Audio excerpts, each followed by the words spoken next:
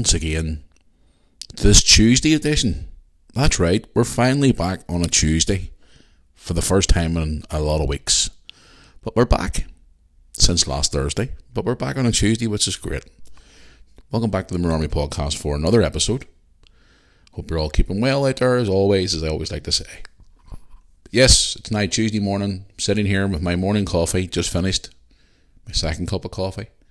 I'm looking out my window this morning and I see a beautiful blue sky, nice breeze, beautiful sunshine, and I'm looking forward to heading out into the big bad world later on today. But I hope you're all having, having a good day there, no matter where you're listening to me from.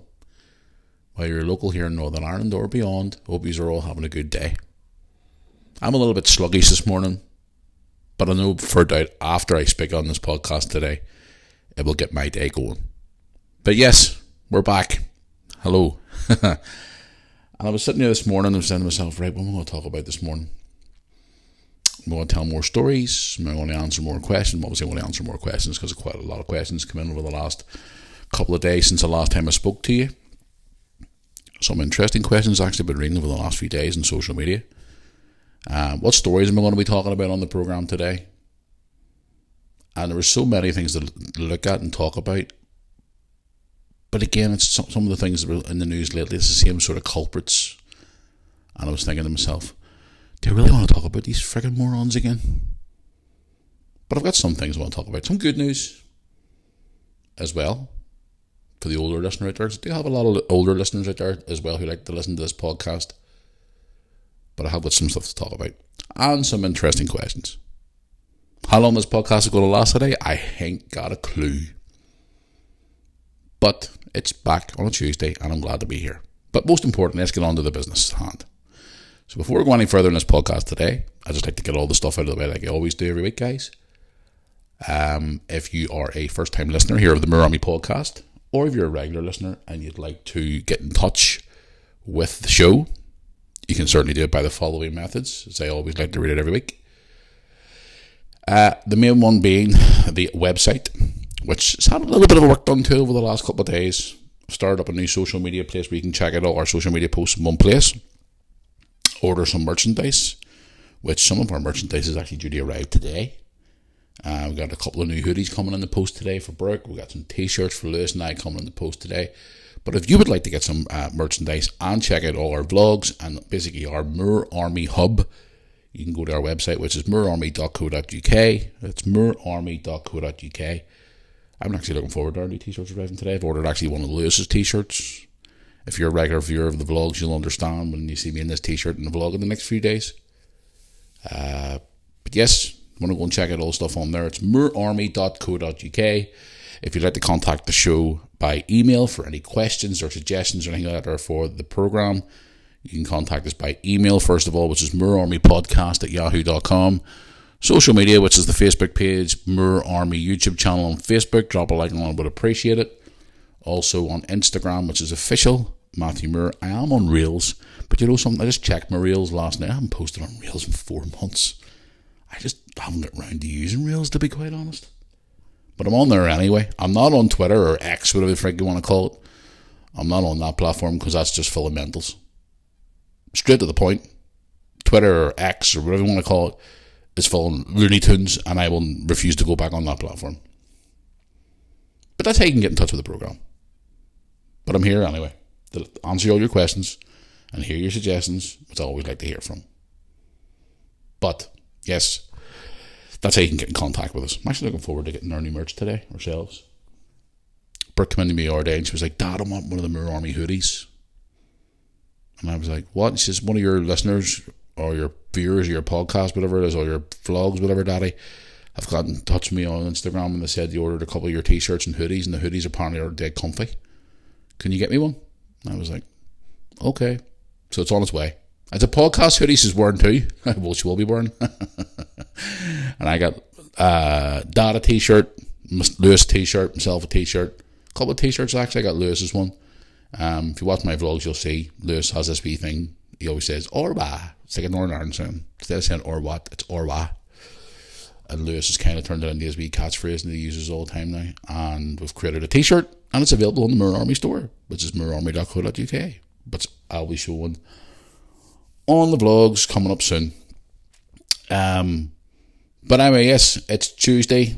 What's my plans for today? I got a really busy day ahead of me today, guys. I got to leave here after getting this podcast put out. I've got a vlog to put out from Saturday. Um, where Lewis and I went to Derry, Londonderry, whatever you want to call it. Uh, Lewis was at work with me on Saturday while he was watching the Sidemen charity football game at the side of the pitch. So he was doing videos and photographs for football in the Irish League, plus he was watching the Sidemen charity game. Um, but also we chop travelled to Londonderry as well, or Derry, whatever you want to call it as well. What a lot of shit's going on down there at the minute, isn't it? It's fucking crazy down there at the minute. Absolutely bonkers. Ratting in the streets. Two days before the game, we were actually told, well, I saw, I don't really watch the news that much now, as you all know, guys, but I just sort of was flicking through the channels. I think it was Thursday, was it, or Wednesday? I can't remember what day it was. And I was just flicking through the channels and stuff, and I came across uh, the news. Yeah, not BBC, by the way. Don't watch that crap, or ITV, or Sky News. Um, just flicking through the channels and it says that down in Derry, Londonderry, whatever you want to call it, they've been ratting in the streets and there was like, was it 15 or 16 police officers injured? They were raiding houses, they were finding guns and World War II hand grenades. What the frick is going on? And I'm thinking myself, like, what? We're, I says to, I called Lewis downstairs and me, Lewis, we're going there on Saturday. Like, we're going down that neck of the woods. Are we going to be all right? And he was like, Dad, I don't know. So we left for a day or so, and then we heard more developments going on.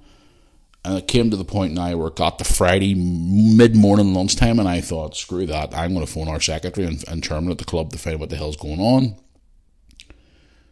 And they were like, yeah, it should be fine. It's not too far. It's nowhere near the ground where it's happening and stuff. And I'm thinking, here, I hope not, because I'm not taking my 14 year old son down there to get caught up in a situation where the worst case scenario could happen and Lewis is stranded in the middle of that. Okay, I'm big enough and the man and I'm old enough to handle myself, but like Lewis is only a 14 year old kid.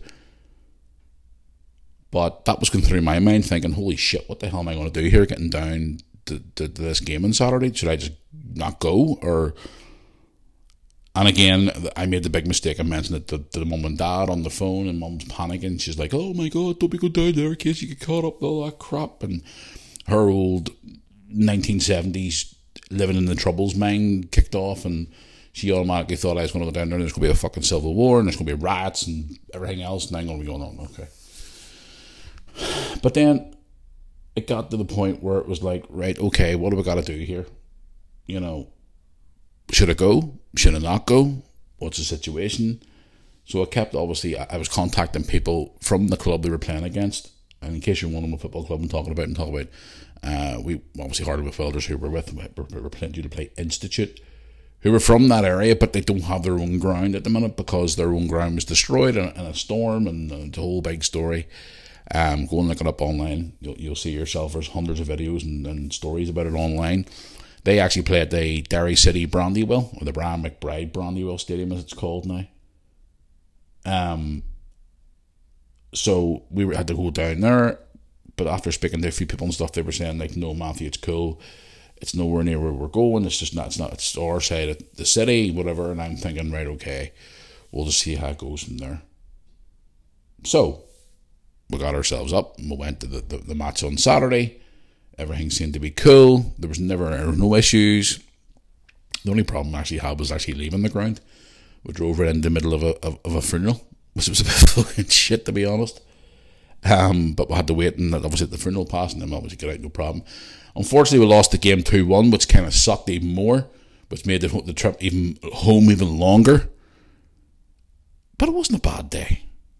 I must say, it wasn't a bad day. You know, it was, it was a warm day. Here's the thing, guys. There's certain places I go to in football throughout the year, the likes of Derry, London, Derry, whatever, and and Enniskillen and Fermanagh and Castlederg and all these different places I go to throughout the football season. And some of the views you see when you're out travelling, I mean, if you're a regular viewer of my vlogs, you understand that I do. I love to travel and love to find new places and stuff like that and whatever. You know, and some of the views that I see down there is just fucking incredible, man. really is such beautiful sights that I see in some of these places, some of these wee small towns that I go through, and places that we stop off, and whatever else. And that's one of the benefits that I love of being in football. Just just love seeing all these wee different towns and meeting new people and whatever else. Um, I got to go over the Glen a place called the Glenshane Pass this past weekend. It was a beautiful day. It was sunny, and, and then we went, whenever we got over the Glenshane Pass, it started to rain. And then we drove north two three or three miles, and then the rain was gone. And it was oh, it was just weird weather, but it was a good day. Uh, apart from the result, of course, like, but it was. Uh, it was just a bit concerning going down after everything that I saw on the news. You know, and the thing is, I I've said this multiple times in this podcast. I'm, I'm friends with, you know, police officers and people who work in different things like that. And I actually end up contacting one or two of them and just saying to them, you know, what the hell's going on here? Will we be okay down here? And they were like, oh, yeah, you'll be cool. Don't worry about it. But we were, we were fine. You know, it's just a bit concerning when you start seeing all that type of crap on TV, you know what I mean? You know, because when I grew up in Belfast, that's all you ever saw on TV was, you know, bomb scare in this place, car bomb going off here, you know, shooting happening here. This per- this bar was shot at. People walked in here and shot gunfire off. There was riots in the street here. People fighting in the street with the police. You know, it's just was just one thing after another, after another, after another, after another. It's just the things you see when you grew up during that time. I just want to start seeing all that crap that we're finding all this weird random stuff in people's houses. No, I'm going to myself, right? That's it. I'm not taking fucking Lewis down there. There's not a chance. Not that I expect it much to happen, to be honest with you, but you just got to be careful. You know what I mean? But we get down, we get in, we get out. Unfortunately, I got beaten. It's a bit crap, but what can you do about it? It's just one of those things. It's just pretty crap. But it was a good day. We met a couple of people actually at the game who watch our vlogs, and it was nice to meet them.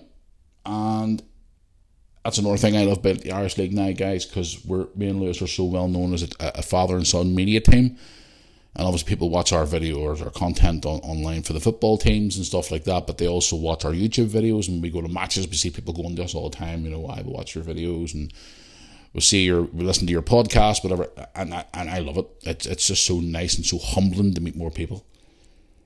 You know what I mean? Even the most random places I mean, Jesus, we were down for Fermanagh there one Tuesday night. Gee whiz, donkeys ago towards the end of last season, and it was fucking freezing, and it was like minus two degrees.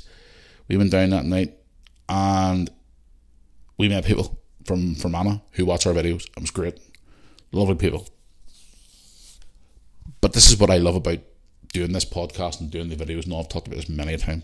But anyway, the trip itself wasn't too bad. It was good. I enjoyed it unfortunately, we got beat. Had a good bit of crack. We came home on Saturday night, Lewis and I. Punctured. I came home on Saturday night and literally just threw the work bag down. Didn't even do the highlights for the TV. Done nothing. Just come in the door completely punctured.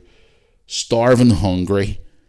And I thought, you know something, screw it. I'm going to get dinner and I'm going to switch off from the world tonight and I'm going to have a bit of me time. Lewis ended up going upstairs and just crashing on his bed Brooke was gone to Paul's house, her boyfriend, so we didn't see her till about half 11 that night, so we were just pretty much punctured. And it was stuffy heat too, as well. It was crap. Really, really stuffy, stuffy heat.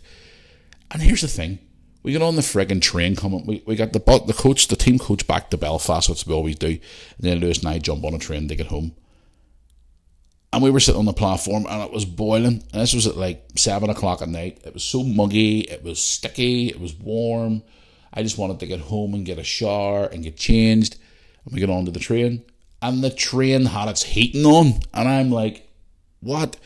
I knew the, the train guard who walked up and down collecting, checking the tickets and stuff, and I called him over to one side, and I was like, why, for the love of God, have you got the heating on? Me go and ask the driver. A lot of people in the cars we were in were like, oh my God. Do how bad it was, guys. Every single fucking stop we got to, I had enough getting up and pushing the button to open the bloody door because it was that warm. And people were like, this is ridiculous. Why have they got the heat on? You know, there's no rain. It's like 15 degrees outside. It's bo- it's muggy, it's sticky, it's it's oh, the heat was just like at a sort of like ugh. You know, like one of those nights when you're lying in bed and it's like too warm and you kick your quilt off and you're just lying there and you're just like sweating buckets and it's too warm. It, it kind of reminded me on that train of whenever I used to work in fucking Homebase. Guys, a long time ago. It was actually 10 years this year. And I used to work upstairs in the kitchen department. And whether it was like 25 degrees outside in the summertime, they had the heating on. And the uniform that we used to wear was like black, sort of like what do you call those? Like trousers with the pockets at the sides and all that there. Cargo type trousers with a black t shirty thing that sucked, it just attracted heat. It's like a reflective type top and it just attracted heat. And there was no need for you to go to the gym back then. You would just stand upstairs for 20 minutes and you'd be sweating gallons. And I used to go down to the bosses all the time and say, for the love of Pete, turn the goddamn heating off. Seriously, it's too warm in here. And customers weren't even coming upstairs to that department because they knew it was too warm. Like people were taking steps upstairs, and as soon as they were getting upstairs to walk on, the, the heat just hit them, and they were like, "Nope, we're gone. Too warm. See ya." You know, the heat was wild, and then during the winter time, the heating was fucking off, and it was freezing. And for a long time, we used to bash on the, the management and stuff and say, "Here, listen, is there any chance you could turn the fucking heating off?" Like, but that's what reminded me of that train on Saturday. It was just too damn warm, and so I'm just trying to scratch my shoulder here while I'm talking to you. um, even Lewis was like, Dad, why are they heating on? I mean, you tell me. So we finally got off a, a, a sweat box of a train and got home and just literally crashed. We were just completely done. It was too it was too warm. It was far, far, far, far, far too freaking warm on that, uh, that day. But that was our Saturday. Um, I'm just glad we get down there and get in and out and get the job done. And, and unfortunately, we lost 2 1. It was kind of horrible, like two defeats in, in, in a week, which is crap. Um, moving away from that. What about Sleepy Joe Biden? Flip me, I was watching the stuff on him this morning again. Yesterday was 9 11, guys, and he was saying about being there the next day after all the attacks and all happened and all. And for what I was reading, apparently he wasn't there. The man's clearly going now. And then I watched the Norway recent speech from where he was standing there going, oh, didn't even know where he was. Unbelievable. But yes, yesterday, guys, was 9 11. I put a wee TikTok out on, on TikTok. By the way, guys, I forgot to say at the start of this podcast, I'm actually back on TikTok again. I've been posting more videos on TikTok. I posted one yesterday, uh, wishing you all happy Monday and stuff. And I talked about 9 11, which was yesterday. Another subject that uh, is very uh, heartbreaking to talk about because obviously before it happened, I was always a big a big admirer of New York City and obviously the United States in general. And that day obviously was 20, what are we on, 22 years ago. And that was a day that I will never forget. Never, ever forget 9 11. Never. Excuse me. And had happened, I'm not going to go too in depth into it because obviously I've been ranting for over an hour now in this podcast. You're getting extra today, guys. Plus, I got the questions to answer.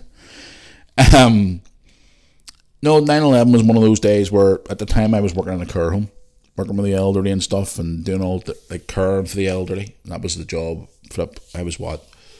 2001, I was what? 19, 20. And at that time I was working night shifts in the care home. Um, the reason why I went on the night shifts was because Brooke and me, or Brooke's mum and dad, Brooke's mum, sorry, and Lewis's mum and myself, we were only kids and we broke up for a couple of months before we got back together again we were just kids at the time, whatever else. And um, I went on the night shifts to try and avoid her because me and her worked in the same car home at the time. It was a whole kerfuffle. And I'll never forget it. I remember going home that morning on September the 11th because at the time I was driving the motorbike, my 125 motorbike. I used to love that baby. Flipping engine seized on it. God, I wish I still had that this day. It was a oh, it was an incredible bike. So I remember going home. My routine was if I was doing two or three nights in a row, I would go home from what was he said it was the first night or the second night, go straight home from work, into the shower, into bed, sleep for eight or nine hours, get up, have an hour shower, get some food, put the TV on, leave the house at about five, ten past seven, drive to work, get in, get changed into my uniform work, get into the office for about ten to eight, and sit down, get settled, do the meeting at the handover as it was called, and then get onto the onto the floor for eight o'clock. or was it nine o'clock back then? I can't even remember. But anyway, that morning, that Tuesday, I was on Monday, Tuesday, Wednesday that week. Or was it Sunday, Monday, Tuesday? Monday, Tuesday, Wednesday that week. In fact, I was doing four nights that week Monday, Tuesday, Wednesday, Thursday. Because I was finally getting the weekend off. And I'll never forget it. I remember going home. And that that Tuesday, for some reason, when I woke up, I went, I went to bed for about, I was in bed for about 9 a.m. So I went in the bed and slept till about 5 or half, quarter past, half past 5, whatever it was the latest. My routine was to get up, have a shower, get a bite to eat, watch a bit of TV in my bedroom, and then I was still living at home. So it was like, okay. But this one day, I didn't turn on the TV. And I remember it well. I remember getting up and going and getting a shower and getting food and sitting down. And I remember checking my old phone and I remember how type of phone it was back then. It was uh, what was my phone back then? I can't even remember. It was an old phone anyway. So there was no smartphones or nothing back then. I know world without smartphones. Jesus, the younger listeners are going, "What? No smartphones? What?" And that was back in them days, like. But I remember getting up, mum, mum, or nobody else was in the house that day, and I remember going downstairs and getting another cup of tea and coming up and just sitting there. And I remember putting on uh, the radio for about two minutes and then I remember turning it off and getting ready. And part of me was like, this was about quarter to seven at night. I was thinking, I'm going to go into work early because I'm working with this girl, Diane, tonight, who me and her used to have such chemistry and work together. It was brilliant. In fact, one of her best friends is actually one of my neighbours now. So, and Diane's been, I've known Diane for me, what, 20 years now? And I remember getting to work out her, I arrived in work out at about 10 past, quarter past seven. I'm walking straight through the front door and there's Diane standing there and she goes, Oh my God, did you hear what happened today? And I went, What are you talking about? And she lifted the Belfast Telegraph newspaper and just opened it out, and there was the photograph of the big, as the plane hit the building, the big red uh, thing of flames coming out of the, one of the towers. And I, I looked at her and I, I swore to you guys, there's no word of a lie. My first words were, What movie's that? And she goes, Movie? She says, Matthew, did you hear what happened in New York today? And I went, no. She goes, America was attacked today. Terrorist attacks. Multiple places. And I went, I I'm dead on. She go into the small lounge and have a look. We used to have a small, tiny lounge. So I walked in and turned the TV on, whatever it was. And there it was. Every channel. Boom, boom, boom, boom, boom. Planes hit the World Trade Center, the Pentagon, the, the White House has been ev- evacuated, the towers collapsed and all. And I'm standing there looking at that going, holy shit. I remember going sitting in the canteen now. I was going to have a cup of tea before I went into the, the, the handover thing in the, in the office, and I'm sitting there going, What the fuck has just happened? And she came in again. She goes, Did you not see what happened? I went, No, because normally I have a TV on before I come to work, and I, I didn't see it. And she was like, Like, nearly 3,000 people died in them towers today. And I'm going, Are you fucking serious? So we went in, got the handover done, done, got all the residents into their beds, whatever, and then we always get a break about half 10, 11 o'clock, maybe half 11 at the latest, where we can then get all different things done. Like we used to clean the, what do you call it, the dining room. We used to spray all the chairs down, clean them, and do all the different bits and pieces, do a bit of laundry and all. But I said to Diane, can we get that all done early tonight? Because I want to see the TV. I want to know what the hell's going on. So we ploughed through everything by about near midnight. And the first round gets done at 2, the second round done at six, and then the new stock comes in at eight o'clock in the morning. So at twelve o'clock for about an hour solid, I sat in that small lounge watching that TV, and I couldn't believe what I was seeing. Guys, that was a day that sticks with me forever, and still to this day, you know, when Brooke and Lewis start growing up and start asking questions about it and stuff, and then as they get older, especially Brooke more days now, see would still ask questions about it and stuff, and and you always hear different news stories all the time. You always hear you know, you always learn new stuff about it.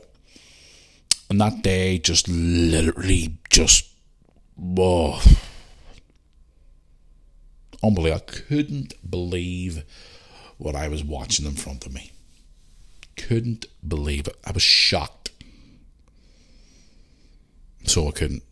But, you know, I look back at it now and go, my good God. And still to this day, you think to yourself, why would somebody want to do that? All those innocent people, and I understand, obviously, they had a motive behind it and then you hear all the different conspiracy theories about it and all, and people say like you know the American government was behind it. I have my view on it, but I'm not going to give my view on it on this podcast because I'm probably going to get some snowflake who's going to take offence to it and is probably going to report this podcast and try and get me shut down. I have my own view on it. It's, it's quite an, a, a, an extreme view on it. I think, well, all I can say really is that I think people knew it was going to happen. That's all I can say. But again, the way it happened and the tragedy of it all was horrendous. Not even just in New York, but like the Pentagon. I have my queries about that. Flight 93 and the crash in the field as well. Doubts about that. But you could talk about it all day. You know, what happened? Who was to blame? Did the government know? Was it an inside job? Was it terrorists? Was it this? Was it that? Who did this? Who did that? But again, it was just one of those days, guys, that will always stick in the memory for me personally the rest of my life, and also for a little bit of something to be replayed for decades to come. You know, those planes hitting the building, the buildings collapsing, you know, everything else that happened all around that whole day. You know, and I went to New York in 2004 and when I went there, the ground was it was just a big hole in the ground at the time, guys, and it was just an eerie feeling being there. I actually have footage on an old VHS tape where you see the hole in the ground and all I, actually wouldn't mind sharing that footage sometime on, on my YouTube channel, just what it was like back then. It was just a building, it wasn't like a building, it was just like a big giant hole in the ground. And it was just being there that day. Was here obviously I lay flowers and stuff. Now they've got the new memorial there for 9-11 they've got the memorials everywhere else. All the other incidents happened as well. They've the big memorial fountains and all too as well. There's the new World One Trade Center now there but it's just one of those things guys. You know obviously it's not part of this country and stuff like that and but it's just it affected different people in different way. And I'll tell you a true story before I, I go on to the questions from you guys today. But there was a guy that we used to know used to live on our family street, and he worked for IBM Computers, for what I remember. IBM was I think it was he worked for, and he I because as soon as that happened, I thought of him because he worked in New York as part, you know, of all the different things, and the trade center was there, and he he done work around that area. He worked in the towers, and you know, because I always remember as a kid, he used to we used to play football at the top of the street and we used to see him coming out in his business suit. And one of my wee fellas used to live in the street, and I used to call him Mister Businessman. And he used to tell us about when he used to go to Hong Kong and China and New York, and he all these different things and all them big tall buildings in New York and all like when them and all that there. And I was thinking to him, oh shit, he's away too on business at the minute. I wonder if he's in those buildings. Is he dead or what's the crack? The day of the, the, the morning of 9 11, he was due to have a business meeting on the I don't know what floor was, 60 or 70 floor, somewhere in that anyway. I think it was the South Tower, I think maybe. I'm not honestly sure. But when he flew to New York from Belfast, he started feeling a bit sick. And he wasn't feeling great. So what he done was he got there two days early. And as the days went on, he started feeling a bit run down and flu type thing. So on the Monday afternoon, September the 10th, because I ran into him a lot of years after, and he was telling me this. On September the 10th, he phoned the offices to say that he was in his hotel in New York, but he still wasn't feeling great and he wasn't sure he was going to make it to the meeting on the Tuesday morning, which was due to take place at 9 a.m. in the South Tower. Okay? Do you know where I'm going with this, don't you? So he didn't go to that that morning. He woke up during the night. He was telling me he was he had the hot sweats. He was being sick. He had vomit and diarrhea. He wasn't feeling great. So he thought, right, I'm not going because I'm not going to take this this this um, infection virus thing into and spread it all around the office. Because anybody else obviously getting sick with the flu or whatever. So he phoned in sick at I think he said it was about six a.m. or something in the morning. He phoned in and he said he wasn't going to come in, but he was going to try and get in the, the next day or the day after, and he apologized for it and stuff, and everything was cool. And what happened the next day? The Twin Towers were attacked by the planes, and the planes brought the buildings down. And he could have been there, but he wasn't. He was sick. So it was a bit of a, a blessing in disguise for him, but he lost a lot of work colleagues that day. They were all killed. Some got out, some didn't. But again, it's just things like that that puts it into perspective for you what exactly happened that day in September 11th, 2001. And I look back at that with a lot of heartache and memories. And, you know, as I said my TikTok yesterday, guys, on my TikTok account, I said, you know, spur a moment of thought for the people that day. And I always do. Never, ever forgotten. You know, I mean, it was just a it was a hard thing to watch, watching all those people jump out of those buildings. I mean, you think about it, you're in that situation where you're standing in that building that's on fire and you've no way of getting out of that building. Would you rather burn alive or would you rather jump out the window? Know, what, what that, that type of situation you would be in, what would you do? Like, seriously, what would you do in that situation? It's a tough one that people would say, oh, I would just jump and be all over in two seconds or whatever, but you, you just don't know. You know what I mean?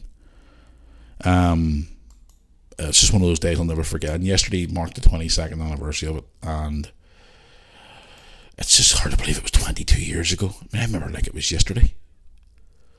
So I do. I really, really do. But guys, I want to move away from that and. I want to get into some of the questions that you sent me today. Um, I know I've been ranting on quite a bit today on the podcast, but I just wanted to bring up a couple of wee subjects that uh, was obviously a lot of these guys asked me to hear more stories from me and and whatnot. So I've been ranting on quite a bit today, so I do apologise for that. but anyway, I've got some questions here which I'm going to go through on Facebook, Instagram, and the emails. So I'll do Facebook first of all because somebody's been getting in contact with me. Even had my own cousin on me as well which I had to read out the question this morning to Lewis because it was a question for Lewis. Um, because I put a thing out last night saying, you know, any questions and stuff like that, they're contact us. Uh, my cousin who was in London aerobic as well uh, for the wrestling show in London we went to see him as well. He was one, one of the ones stranded as well. Talked about him on the podcast a few weeks ago. My cousin James. So James, hello. Hope you're doing well out there, uh, cuz. And uh, he started a wee thing, guys, on TikTok called uh, Food Guru NI. He's doing a bit of food reviewing, so he is. You want to go and check him out on TikTok and all the other social media platforms. Food Guru Northern Ireland NI. Um, he put a wee thing out yesterday about doing a review on sausage rolls. Now, I know you all know out there, guys, that Lewis is obsessed with sausage rolls, Pound Bakery. But he wrote yesterday, said, I went out in the search yesterday uh, for Ard's best sausage roll. I'm going to be doing again in Bangor, Donaghadee, and then the Belfast as well. My question is, What's Lewis's top three sausage roll shops? Well, you can't mention Greggs because he doesn't like he he prefers Pound Bakery, but that's in England. Um, over here, there's a wee bakery on the Newtownards Road, not too far away from the Welders Social Club. Can't remember the name of it. It's a wee bakery. I must actually try and get the name of it for you. They do awesome sausage rolls. Awesome sausage rolls. And I'm trying to think of another one that he actually um, agree or sorry loves as well. Sausage rolls for Lewis. I'm trying to think where else he would normally eat sausage rolls from because he had one there recently. I think it was in England to be honest with you, James. Um, over here, the wee the wee uh, Central Bakery in Bangor's pretty good too as well, but they're obviously I think they're closed now. Uh, oh, what do you call that place? I can't remember the name of it now. They do sausage rolls as well, but it's not like a bakery. I think it's just like a, like a garage type thing. They do good sausage rolls. But the wee one in Belfast on the Newtownards Road, I must get the name of it for him and I'll send it to you in a message. It's like a wee bakery and it does homemade sausage rolls and they are incredible. So they are. There's a few wee spots in town Belfast as well, which I've ran into over the years as well. But I'll definitely get you the name of that one, James, and I'll send it back to you on Facebook. But thank you for the message, because uh, I do appreciate it and I hope your B page does well for the food guru as well. Um, one here from our usual listener as well, Sharon, Sharon Murray or Murphy, um, sent me a message on Facebook as well saying, Hi Matt, just wondering if you've an interest in Formula One. My son Aaron is a big Formula One fan and took him to the British Grand Prix at Silverstone for his 21st birthday Just wondering what your thoughts are on this. Am I a big Formula One fan? I'm not actually, Sharon, to be quite honest. I'm not a big Formula One fan. I would watch it now and again, but dad would watch it more than I would. Now, in saying that, there, my ex wife used to watch it quite a lot with her dad, um, but I'm not really a big, massive fan of it. Only really linked I would have the Formula Ones playing the old Formula One games back in the day when I was younger in the computer games. Um, I'm not a massive fan of it. I have a few friends who are big, big into it and all. Uh, I have a cousin who went to the Formula One in one of them foreigns. I think it was Saudi Arabia or something. He went to it, or I don't know where he went to at the time with his wife. Remember him telling me he went to the Formula One years ago. Um, but oh, honestly, I'm not a, a massive fan of Formula One to be quite honest with you. But again, I know people who are who are very passionate about it. I know another guy I've known for years as well. Um, Craig, a friend of mine, Craig, he's crazy about Formula One. He always has been. Um, but to be honest, I mean, I'm not a massive fan of it, to be quite honest. But I'm sure your son had a great 21st birthday going to see Formula One at Silverstone. I'm sure that was an experience for him. So it was. But uh, yeah, thanks for your message. Let's get into some of the inbox messages here on the Facebook as well. Right, excuse me, I'm full of wind here this morning from my coffee. Um, let's have a look here. One here from Tom. Tom has sent me a message. Uh, Tom Tom Moore, same as myself. Hello, Tom, fellow name namesake Moore. Tom, no relation. Tom says, "Hi Matt, how you doing? Love listening to your podcast every week. Lovely hearing all your stories and all your thoughts and views and all the different things going on in the world." I've recently seen all this hysteria coming back, especially starting in the United States and Australia, of all this COVID stuff coming back. What is your view on this? I don't want to say too much as we don't want to get cancelled by the cancel culture. Well, that's true. Um, watch what you say now because they might uh, report you. So scared. Uh, what's your view on this here? Do you think it'll come back in the UK? If so, the most important question is will you comply? Well, Tom, I think I've said this before in the podcast. The next time it happens, if they try and bring back restrictions and all, am I going to comply? Hell no. Think a lot of people in this country are going to comply? Hell no. I've seen some of the news reports popping up online on TikTok and Instagram videos and all about people saying that they're trying to bring. Well, some of the places have brought back mask mandates. Sleepy Joe was wearing a mask the other day when he was with his because his was it his first lady or something tested positive and even though he tested negative, he's wearing a mask and I'm like, yeah, okay, whatever. Honestly, do you really think we're going to fall back into that situation again where they bring in restrictions and have us queue outside shops like sheep going to the slaughter? Hell no. That's just answering your question, Tom. I'm not. I'm not complying to it. Never. No chance. Not a mission. Not a million chance. Even my mum and dad, who were the most scared ones out of them all, mum was completely shit scared. They even go out the door at one point. I even said to mum about it two weeks ago. Mum, she says, ah, way to go. They can take a run and jump. If you asked my mum that three years ago, she'd have been like, oh my god, no. There's another 50 cases. Oh my god, I'm so scared. Now she's like, hell no. I ain't complaining to that crap. All the lies they told us, no. Nah. But thanks for your question, Tom. I do appreciate it. Um, if you want to follow us on Facebook, guys, it's Moore Army YouTube channel on Facebook, and you can drop us a DM on there for any of the podcasts coming up in the future. Um, let's get into the Instagram here now. Let's have a wee Jeffy Duke through the Instagram. I'm prepared today, guys. I got the laptop and all here going. I'm prepared today. I'm sure you probably hear the clicking going on here in the background. Uh, let's have a look here and see. Right, I've one here from. Let's have a look here. and See. Gee whiz, there's so many emails from you. Right, one here, gee whiz, Eileen, Eileen, Eileen. Sorry, I can't even speak today. Eileen on the on the email, which is Moore Army Podcast at yahoo.com, has wrote me an email today saying, "Hi Matthew, how you doing? Love listening to your podcast every single week. Hope this email gets read on your podcast because myself and my sister are two massive fans of your program." Just wanted to see if you could give us a wee shout out for my sister's hairdressers in Swindon. Oh, Swindon. Hmm, never been to Swindon before. Every time I think of Swindon, I always think of Swindon Football Club in the Premier League in the first season. That's what I always think about Swindon. Probably think I'm stupid like, but that's just my football brain. Um, RB business, or sorry, Herbie business has been going for over 20 years. Just want to see if we can give a wee shout out to her and her business. We love listening to your podcast every single week We always sit and talk about it over a cuppa over the weekend. Wonder what your stuff you're going to rant and rave about next.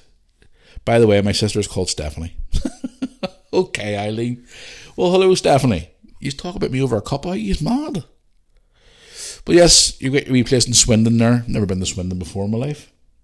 Never been there before. But as I said, yeah, it's my football brain. I think of certain places in football. Football memories just pops into my brain. Swindon Town in the Premier League back in the day. Good God, it was a long time ago. But yes, thank you, ladies, for the message. I appreciate it. Hope you're all keeping well. And uh, you're doing your hairdressers 20 years in Swindon. If ever in Swindon, I might call by. Send me an email with the name of it. And if I'm ever in Swindon on my travels with Lewis, we'll nip our head through the door and say, Hola. You can give me a short back and sides, even though I got no hair. When we give Lewis more of a short back and sides, you give me one like he has hair. Thanks for the meal, girls. I appreciate it. Right, let's get into another one here. Let's have a look. Right, one here from Colin. Colin Burley. Is it Burley? B U R L E Y? Burnley or Burley? Burley? Colin Burley, who is from London. Says, Hi Matt, how you doing?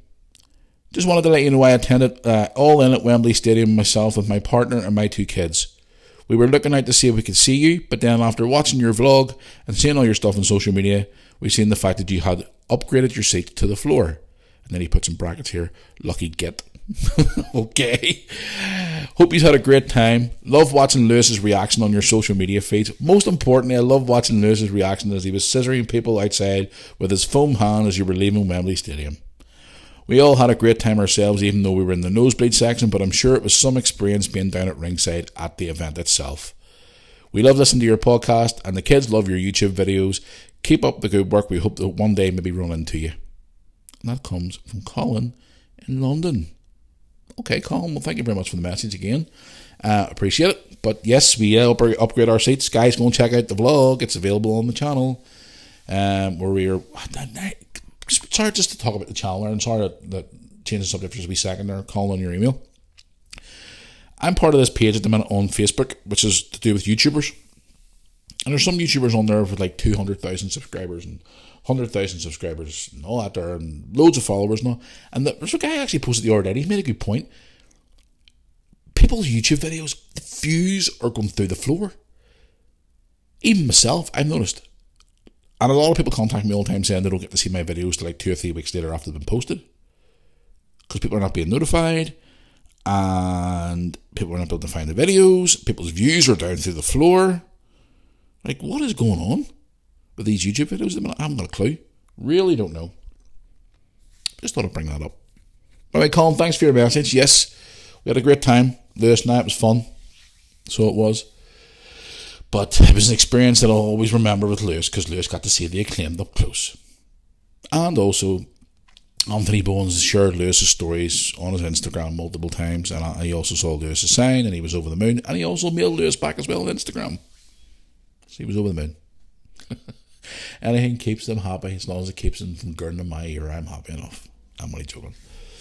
But anyway, let's, let's go on to the next one. Uh, right, let's have another scroll here through the emails. Right, I've one here from Rupert. Rupert Justin who is from Hull. Rupert Justin. Okay. Hello, Rupert. Uh, how are you?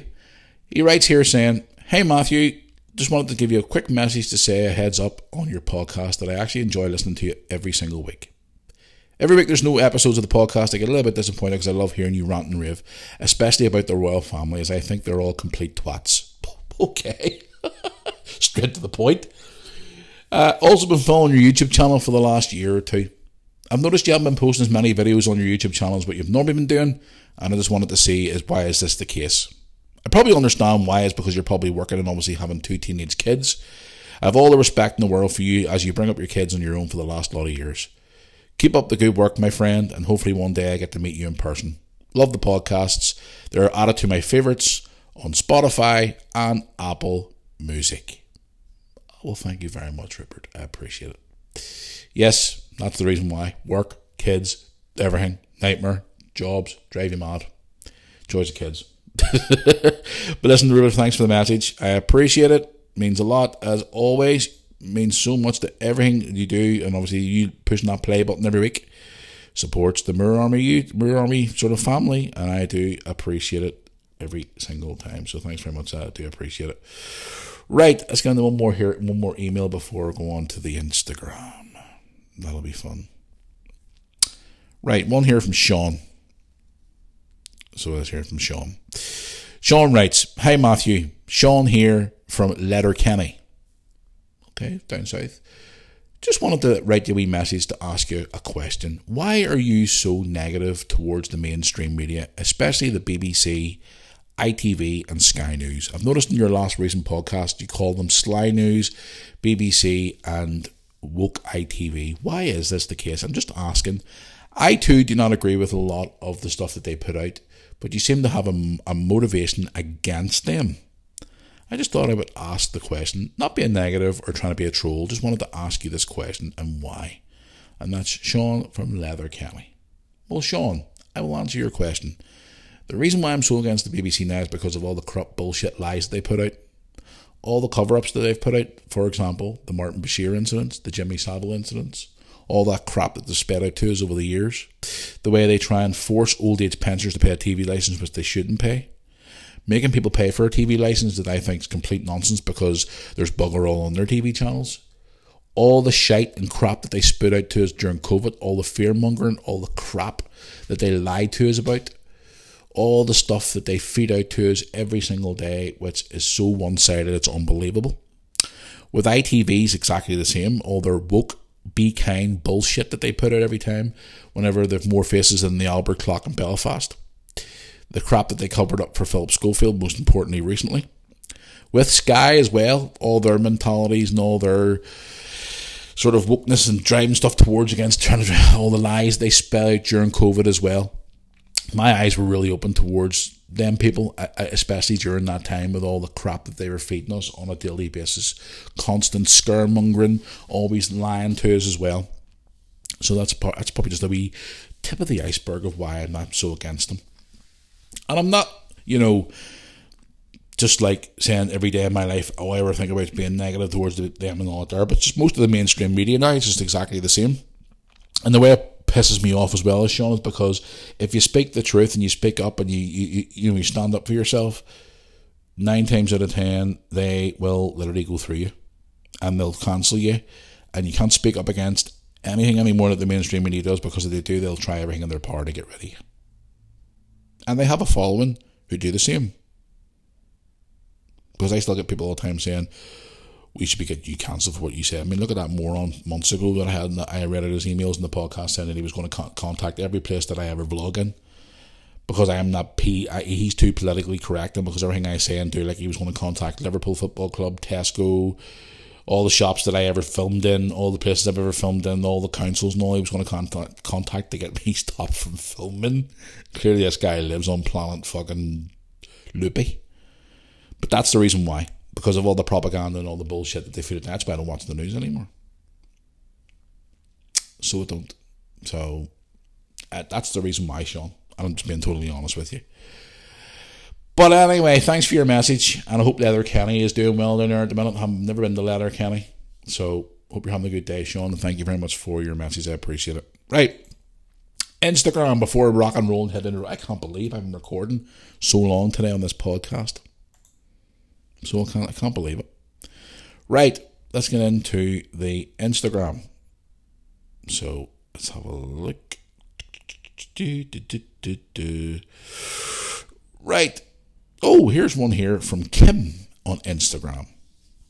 Hi, Matthew. How are you? Hope this message finds you well. It has. I'm reading it out to you. Kim goes on here to say, Matthew, you've mentioned a few weeks ago about state pensions for elderly.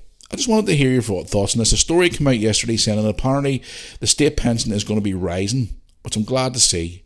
My mum and dad, who are both struggling to pay the bills and keep the heating on, which I've had to help them so many times recently, We've heard now there'll be an inflation coming up for pensioners up to 8.5% next April. I'm so glad to see this. It works out about an extra £13 a week. Not that's going to make much of a difference. But what's your thoughts on this with your parents being around about the 60 years of age mark as well? Can I ask you for your views on this? Of course you can, Kim. Of course you can. Pensioners at the minute, apparently, I was reading this actually this morning, funny enough, you mentioned it. Um, they are due to get a uh, 8.5% uh, rise in their pensions next April, which works out about 13 quid a week, 14 quid a week, which is not going to freaking do very much now, especially with the cost of gas and everything else. Um, state pensions is a nightmare. Like, I worked it out for mum and dad there a few months ago. I don't think dad's going to get his for another couple of years. And mum will not get her till she's about 67, 68, which is fucking ridiculous. Like, um, they're trying to put the working age and all up too as well now, which is baffles me. Um, but the reason I was reading this story this morning, it was saying it's because of the cost of living latest, um, everything being so expensive. They are set, obviously set for a significant rise. Um, but then again, whether this is going to happen or not, you don't know. Kim, honestly, I really don't know. I, I do hope that the pensioners do get more money out there and get more help with their heating and all too as well, because the cost of heating's fucking atrocious now.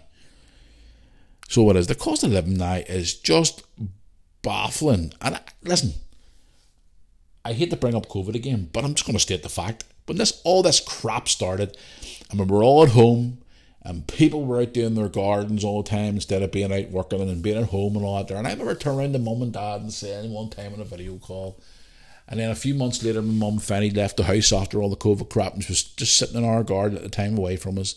And I says, Mum, do you realise that everything that you see right now, like food and, and gas and electric and all, it's all going to go up in price.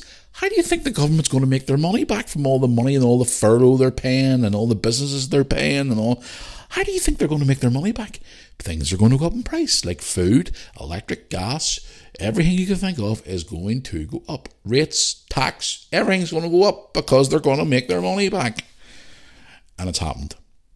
They The, look at the price of diesel and petrol and I've talked about this before in the podcast many times, even at time when I went and done all those interviews with people, and I was asked at the last minute not to make it public because of the whole circumstances, which is crap. And I still wish this day I could play those interviews for you because some of them were like heartbreaking, especially that elderly couple I spoke to outside Marks and Spencers. Um, but yeah, no, uh, Kim, I completely understand. It's just it's crazy, and I hope, especially the older generation, need to be looked after. You know, because they've worked all their fucking life, they paid all their taxes. And they're left nerds, but then you see these fucking morons coming off the boats and they're getting everything fucking handed to them. I, I, I was talking to a guy over the weekend there who lives in Bangor. I was speaking to him at the shopping centre. He worked down near the seafront where that hotel in Bangor is here, where all them ones are being brought in off the boats. They're still bringing more in, and they're all running around the best of clothes, the best of gear, like eighty pound trainers and iPhones and everything out there. And there's people out there who can't even afford to fucking have a decent phone or a good pair of trainers on their feet and they're working full time. And he was telling me, he's like, Matthew, you see some of the clothes they're running in? And they're running with all their smartphones and all, and I'm going, this is where our government's messed up. So it is. But thanks for your message, Kim. Appreciate it. Um, yeah, I would keep a close eye on that story about the uh, the pension going up 8.5%. The sale average between 13 and 15 pound a week more, which will probably heat your house for about two, about two hours. The way prices are nowadays is just fucking crazy. So it is. But thanks for your message. I appreciate it. Let's go on to normal here from Instagram. Let's have a look here and see. Right, I've one here from Mark. Mark is from Mark's from Merseyside. Oh, hello, Mark from Merseyside. Just checked your Instagram. It says you're from Merseyside. Hey, Matthew, how you doing? I just wanted to drop you a wee Instagram message. I actually saw you in Liverpool a few weeks ago in the shop that I actually work in, Wilko. Oh, do I have a stalker? I'm kidding. I just wanted to come over and say hello to you, but you looked like you were on a bit of a mission. You weren't in the shop very, very long, but you were in and out and gone. I wanted to ask you about your views of us because we are all on high alert at the minute as we are on the verge of possibly losing our jobs.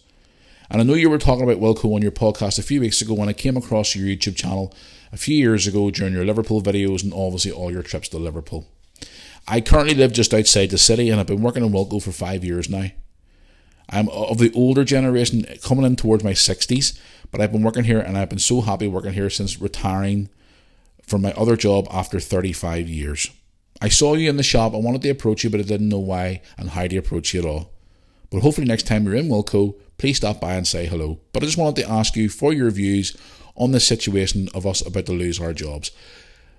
Okay, Well, I'll be totally honest with you. Yes, I was in the shop for like two minutes because there was a big, massive clearance sale. And if, I was in your situation, I would be shitting my pants too as well because my kids love Wilko. Like my kids have bought like Lego sets out of Wilko. We've bought stuff out of, that Wilko in Liverpool. It was actually where was the Wilko we went into? St John's. Yes. So you, you saw me. You should have come up and said hello. I, ah, it would have been great to meet you and have a chat with you. So it would have could have had a wee interview for you for the podcast.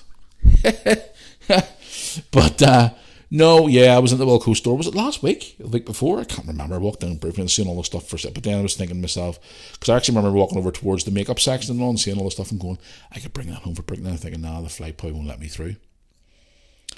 But to be honest with you, I, I, I would be in your situation where I would be worried about your job. And it's a bit worrying as well at the minute because I see all these things going on at the minute saying, uh, I actually read it yesterday, that there was 24 stores, stores closing today. Now, I don't know which stores they were. Um, but again, it's a flipping nightmare. Like, but you know something. When I'm talking to you here, I'm to actually try and dig this up here. When I'm talking to you now to see where the stores are actually closing for Wilko. And it's so sad because I heard the other day as well that apparently was it Asda's banning it over for what I was reading. Um, but I don't know why it's going to go through or not. I don't know. Oh, there we go. Just searched up there. Let me have a look here and see.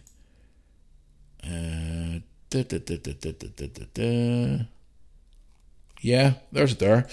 The list of stores that are closing today are is it Acton in London, Aldershot, Barking, Bishop, Brownhills, Cambridge, or Camberwell or something it's called, Cardiff Bay, uh, Irving, Liverpool Edge Lane. I don't think that's the one in Liverpool or Liverpool uh, St John's. There's quite a few here, the likes of Staffordshire, uh, Wakefield, Weston-super-Mare, uh, Winsford, Tunbridge. Oh, fucking hell, there's so many going. It says here in the thing, uh, Wilko Bin shut its doors for good on Tuesday as high street re- retailers prepare to close down. Stores across the country as far apart as Aldershot and Stafford amongst the 24 branches to shut and an hour 24 or an hour 28 to close season trading Thursday. Wow. So, I mean, I'm, I'm reading this and I'm going to check here when he sent this message to me here last Saturday. So by then, I don't even know why his, his store will be closing on Thursday or not, but so sad. It really is so sad to see any business going on. And this is what we've all seen since COVID. All these stores are shutting, financially crippled and screwed.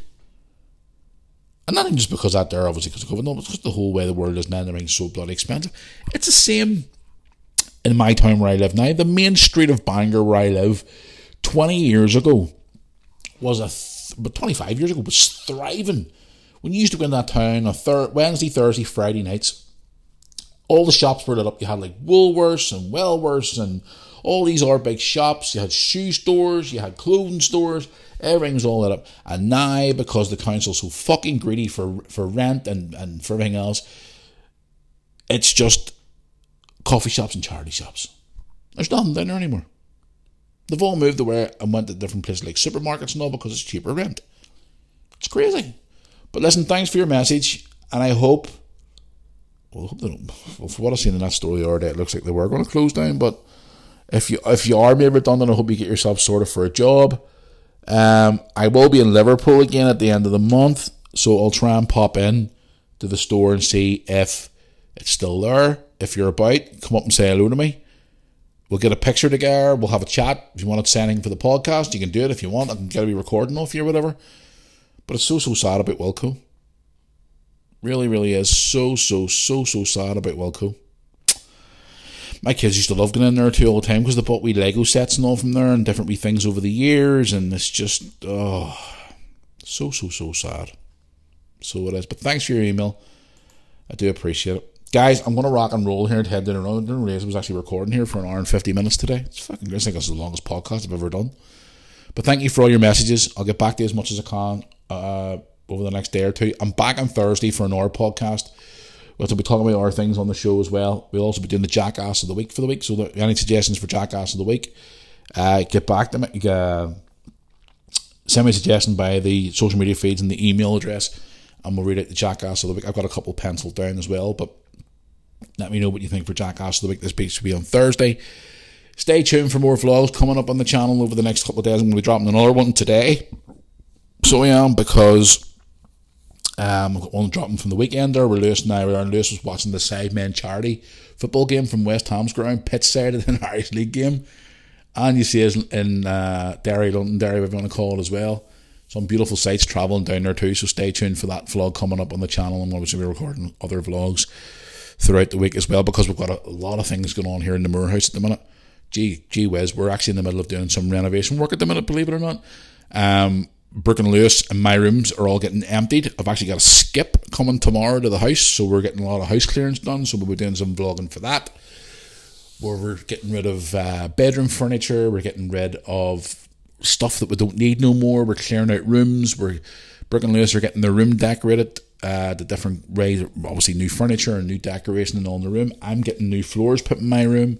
I'm getting one of my walls papered. I'm getting everything all touched up with paint and all. So we've got some interesting videos coming in the next few days. So stay tuned for that. I've also got videos that are recorded. And I know a lot of you have been asking for this London video from London from, the start of July, and I keep forgetting to put it out. I've got it edited on my laptop. I just keep forgetting to fucking upload the thing. Um, I've also got videos uh, from.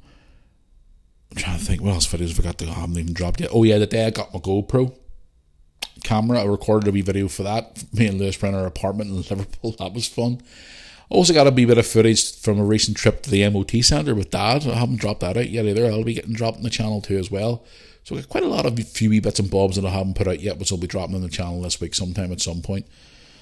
But I'm back on Thursday for another podcast, guys. So thank you very much. If you're listening to this podcast on YouTube, don't forget to hit subscribe as well, guys. Would appreciate it. If you're listening to us on TuneIn Radio, Spotify, Apple Music, wherever you're listening to us online, please add us to your favorites. I would appreciate it. I'm going to go now and get this edited, put together, get it out, and get ready to start my day because I got to go to Belfast today.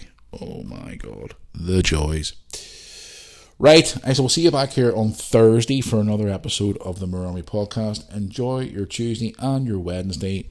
Sorry for ranting and raving today, but I had to get things off my chest as normal because you know me, guys. I use this as therapy as well, which is great. And I hope you've stuck with me this long. I do appreciate it. So until Thursday, I will see you back here for another episode of the Moore Army podcast. Unleashed, by the way. Unleashed. Yes, that's right. Unleashed.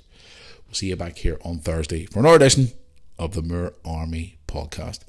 Thanks for listening, guys.